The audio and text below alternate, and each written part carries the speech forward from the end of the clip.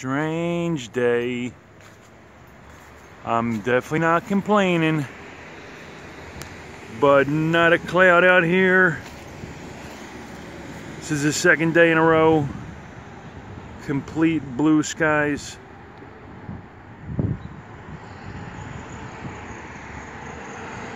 I just know I've recorded this before about a month ago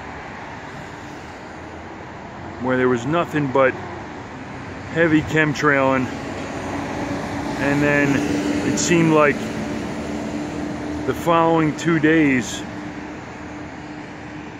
was just beautiful. It's like they have a cycle.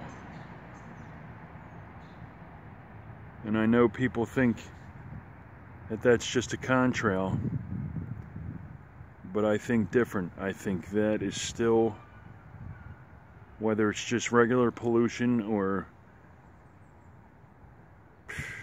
purposely polluting the planet, planet, it is still chemicals, regardless of the fact that there's not long persisting lines.